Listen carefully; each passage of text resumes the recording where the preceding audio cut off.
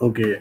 Hello, everyone. I am Dr. Rashid Hassan, founder and CEO of Dentoscope Institute of Research and Advanced Dentistry. Uh, I am again joined today by a renowned speaker, Dr. Naghman Zubairi, who will be talking about uh, a new topic today related to oral biology. So I hand over the session to Dr. Naghman Zubairi. Thank Welcome, you very sir. much. Assalamu everyone, and hopefully everybody is good. So today we will be discussing about the amelogenesis, or you can say that formation of enamel. Amelogenesis, it is occurring in different steps. So first of all, the step one, where we will be having just the partially mineralized enamel, that is 30% of the enamel is mineralized. And then the full thickness of enamel would be formed at this time. This is called the secretory phase.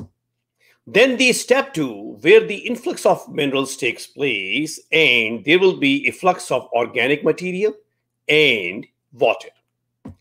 So that is known as the maturative phase. Well, the inner enamel epithelium it is differentiated into the ameloblasts. There are two layers of enamel. If you remember, we have discussed it earlier as well, that one is the inner enamel epithelium and the other one is the outer enamel epithelium. Outer enamel epithelium is not taking part in the enamel formation. It is the inner enamel epithelium which differentiates into ameloblasts and then the ameloblasts, they start laying down the enamel. It is starting at the incisal edges and at the cuspal tips. And then it flows down to till all these cells of inner enamel epithelium, they get differentiated. Reciprocal induction is also going on. Like two notable features are, first of all, the high alkaline phosphatase activity will be seen at this time and then the compensation of the distant vascular supply. If I would be able to draw the picture for you, yes. This is the inner enamel epithelium. This is the outer enamel epithelium. And vascular supply would be lying somewhere here. Now, how the nutrients are going to reach to this inner enamel epithelium. So what is going to happen? This is going to regress a little bit so that the uh, vascular bed will come closer to the inner enamel epithelium and differentiating ameloblasts.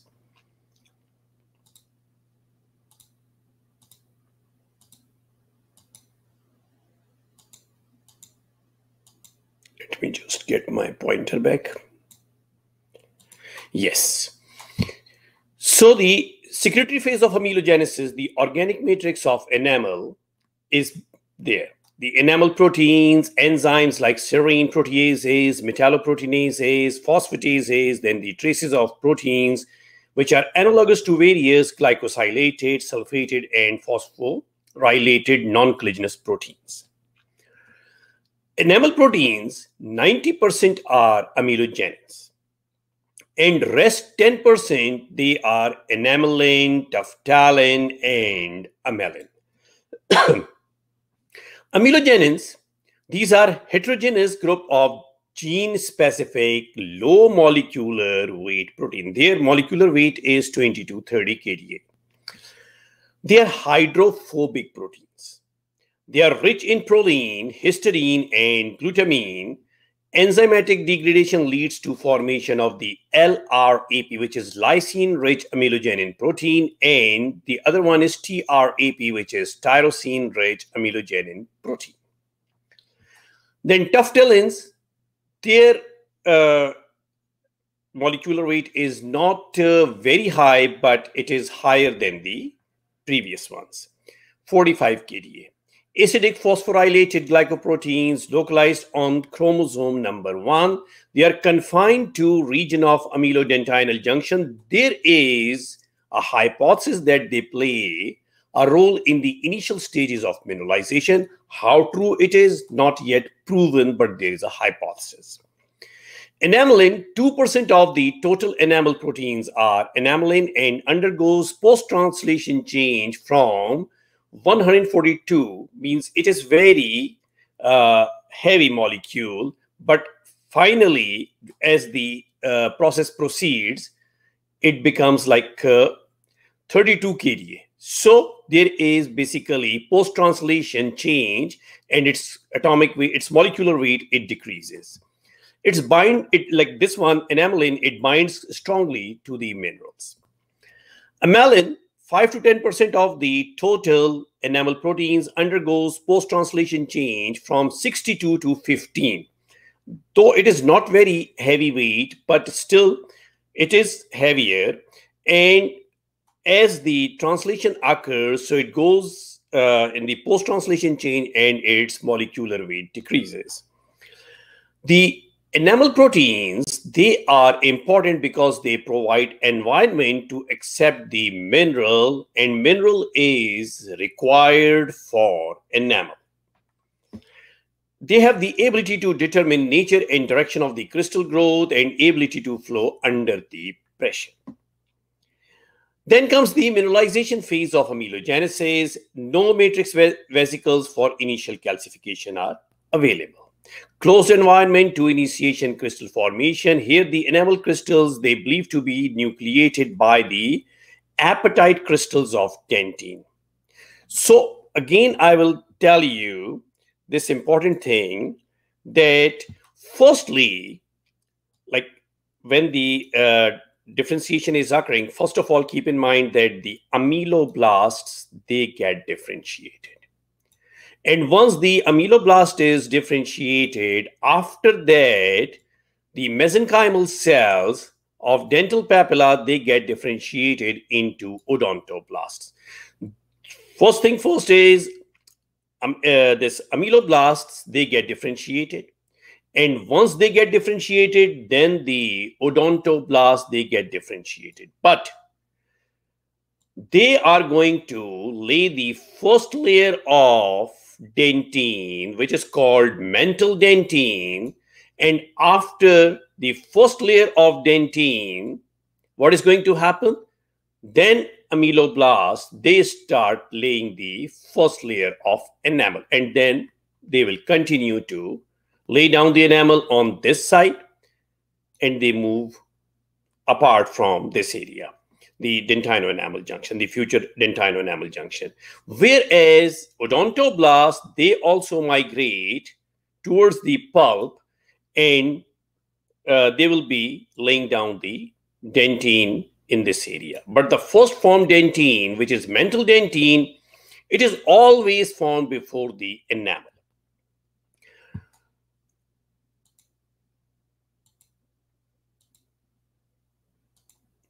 Tuftelin is thought to be the first nucleator of enamel crystals. Mineralization phase of amelogenesis. Following initiation of mineralization, then the enamel crystals, they grow rapidly in length within organic matrix laid down.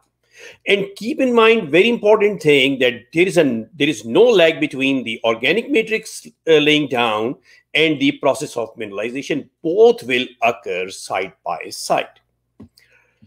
Mineralization, it continues till the entire thickness of enamel is laid down. Therefore, first form enamel is moderately hard or softer as compared to the final stage of enamel.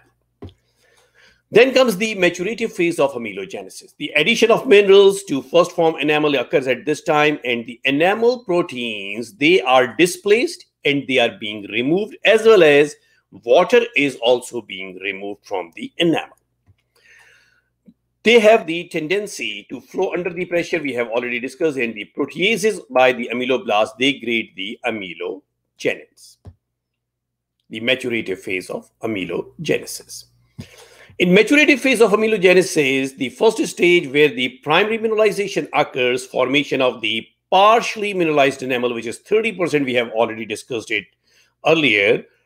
Full thickness of enamel is laid down later narrow zone of 8 micron innermost layer, which is dentino-enamel junction, is heavily mineralized as soon as it is formed. And that is, we have already discussed that probably enamelin plays a vital role in that uh, mineralization phase. Then comes the second stage. Here the mineralization is going to be increased and it starts from the surface of enamel and sweeps rapidly into the deeper layers. Then the third stage, mineral rebounding from the innermost layer towards the surface of the enamel. Maturative phase of amelogenesis. 15 microns of the surface layer is mineralized slowly and heavily, then highly mineralized surfaces there. The degree of mineralization decreases towards the dentino enamel junction and then the highly mineralized inner zone. So inner zone, we have already discussed that it is highly mineralized. Early Bell stage is the most favorable stage for amelogenesis. Then the late uh, Bell stage, it comes and over there, the ameloblasts, they start being uh, differentiating, like in the early, the uh, separation occurs between the uh, outer enamel epithelium and the inner enamel epithelium they start migrating and the shape of the crown is being taken. Late Bell stage, the differentiation of the ameloblasts occur, which will cause the odontoblasts to get differentiated and the first layer of dentine is being laid down. And on top of that, the first layer of enamel is going to be laid down. So dentine formation occurs then, the enamel matrix deposition occurs after that. Here I have already mentioned about that. First layer of the, uh, this uh, first layer of enamel deposition by the ameloblast over the dentine occurs, then the retraction of ameloblast, and finally the formation of the uh, Tomes process, and these are conical processes. These are the Tomes processes. These are conical and these are Tomes processes. This is the light uh, microscopic features. Definition of the full enamel thickness completed. And then the transitional phase of ameloblast, the morphological changes they occur. Then post-secretory ameloblast, which is in the maturative ameloblast, they start then becoming shortened and they start losing their Tomes processes enamel maturation is completed and then it is going to be covered by the reduced enamel epithelium. Reduced enamel epithelium comes from the stratum reticulum, stratum intermedium, then uh, also the outer enamel epithelium. They together form the protective layer, which is known as the reduced enamel epithelium. So if we look at the uh, electron microscopy of amelogenesis, firstly, the morphogenic stage where the uh, shape is going to be taken as the in the early Bell stage, then the differentiation stage, then comes the secretory stage, then the maturation stage, then the protective stage, and finally, when the eruption will start, then there is going to be desmolytic stage. Morphogenetic stage, as I told you, in the early Bell stage of tooth development, the inner enamel epithelium, it is low columnar to cuboidal cells, centrally placed nuclei, Golgi bodies placed proximally, and mitochondria and other cytoplasmic bodies are scattered at this stage.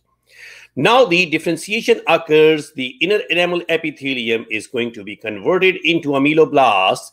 Ameloblasts had histopathological features are they elongate, the nuclei, they shift proximally, the Golgi complex increases in volume and migrate to central core of cell.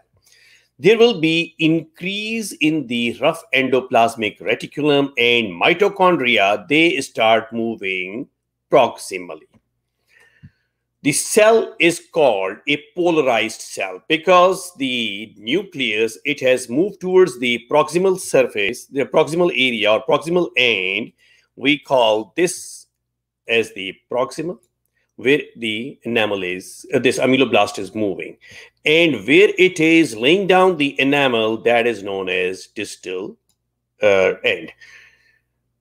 The nucleus, it has moved towards the proximal end and uh, endoplasmic reticulum and Golgi apparatus, it is going to be increased in number and they become hyperactive and they will start forming the vesicles, which is going to lay down the enamel proteins.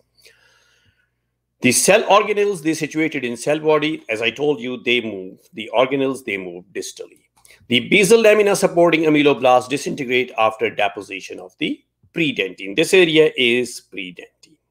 And this is the first lead enamel over here.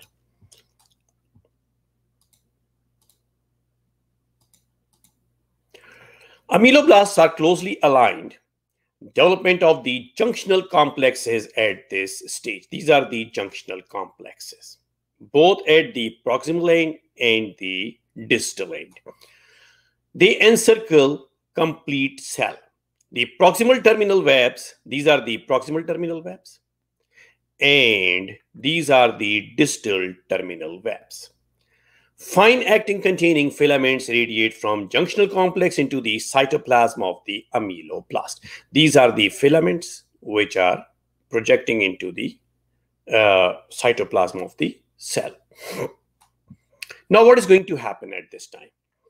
The endoplasmic reticulum, it is going to be increased in number. The Golgi complexes, they will be hyperactive and these organelles, they will make the condensed and packaged membrane boundary secretory granules, which are going to uh, release the contents over newly formed dentine from the distal end of the ameloblast. This is the distal end of the ameloblast.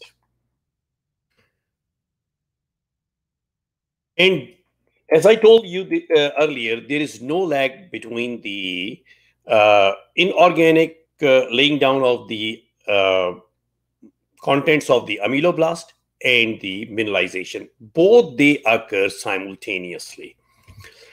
Secretory stage, the hydroxyapatite crystal are randomly pegged on first form dentine and interdigitate with the dentine crystals. A structureless layer of the enamel is deposited. First layer is structureless. Later stages, like later layers, they are having very beautiful uh, like uh, the rods and the prisms and everything is so organized. But first form layer is crystalless.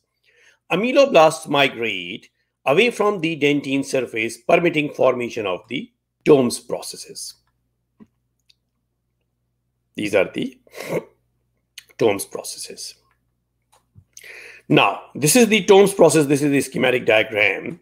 They are demarcated by the distal terminal web. These are the distal terminal webs. These are the distal terminal webs. These are the Tomes processes. They contain secretory granules and small vesicles. These are the vesicles and secretory granules. Secretion of enamel proteins becomes staggered and is confined to two sites. One is around the like periphery of the area, and then second one is filling the cavity, that uh, cavity which is formed by the peripheral enamel. This is the peripheral enamel, and this is the filling in of the enamel. First site, which is adjacent to the proximal part of the process, close to junctional complex around the periphery of cell along the which that are from the adjacent ameloblast. If we look at this uh, theoretically, it will be something like this. The first form layer will be something like this. All the adjacent ameloblasts, they will be forming enamel like this. And then what is going to happen, the second site will be filling in of this cavity by the enamel.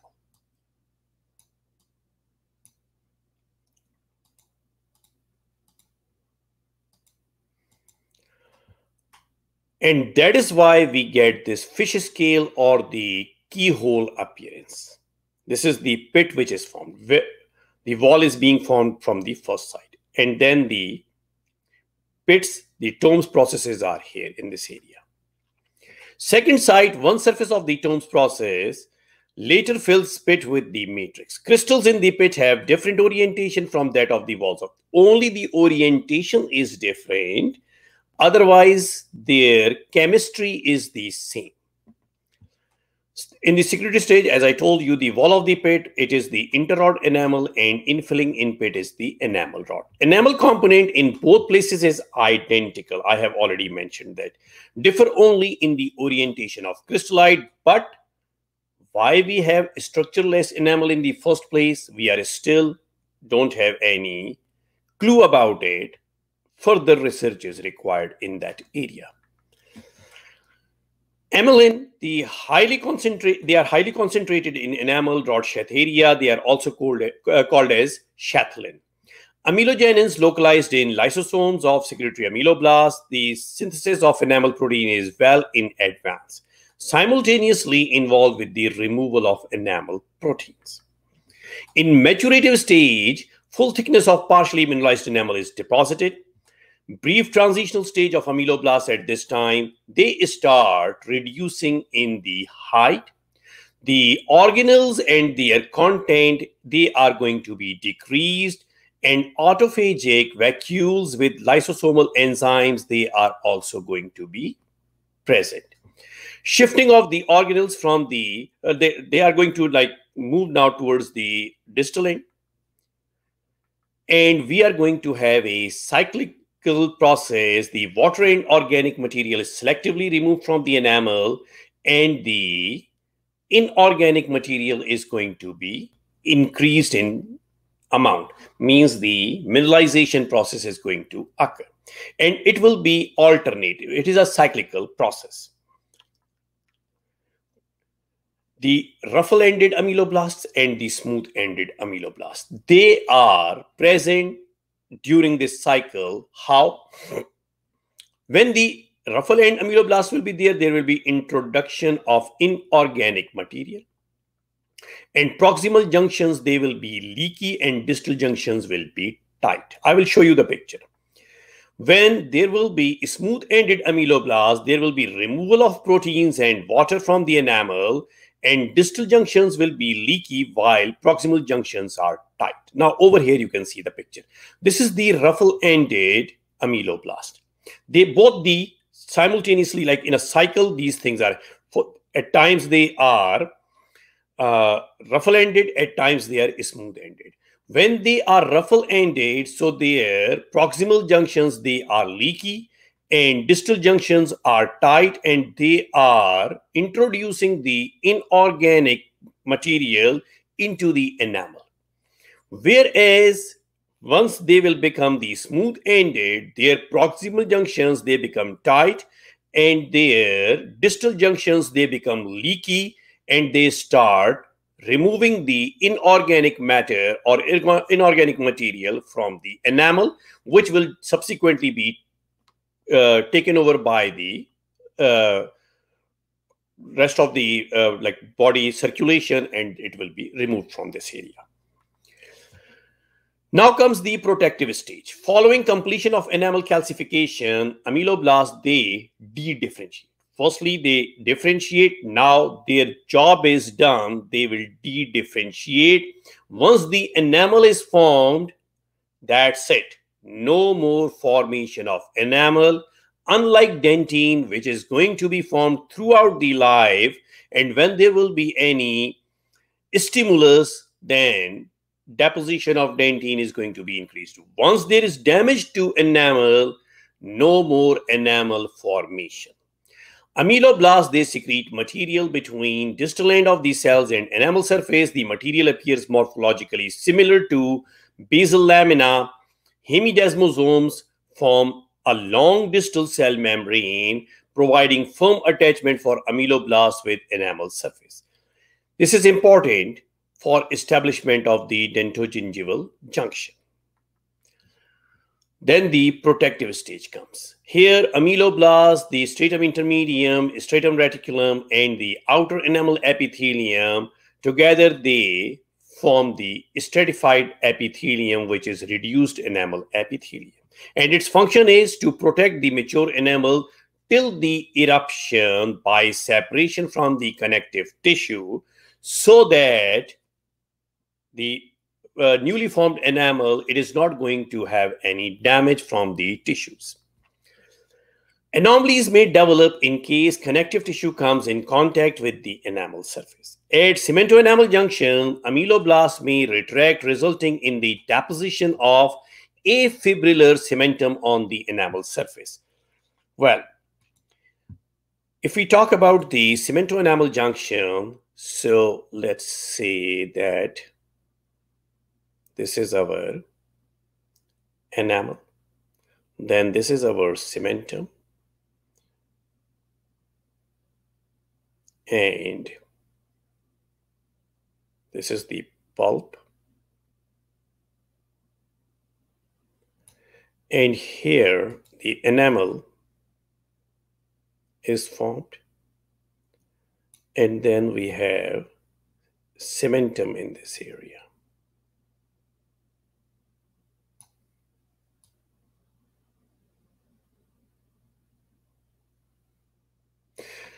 This is dentine. This is enamel.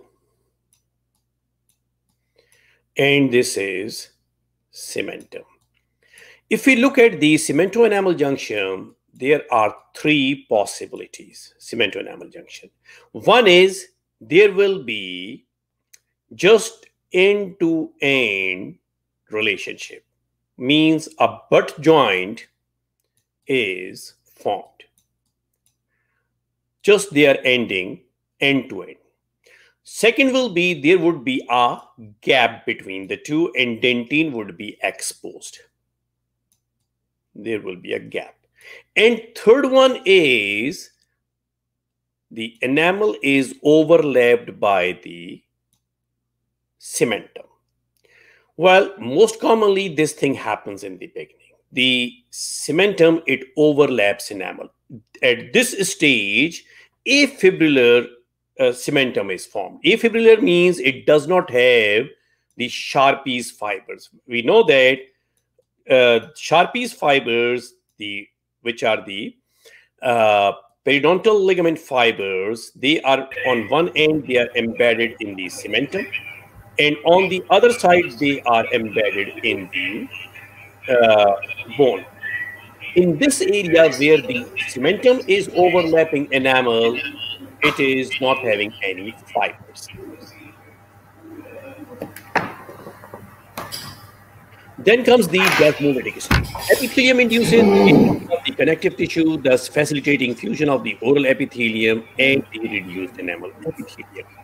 Epithelial cells elaborate enzymes to destroy connective tissue by Premature regeneration may prevent the eruption of tooth.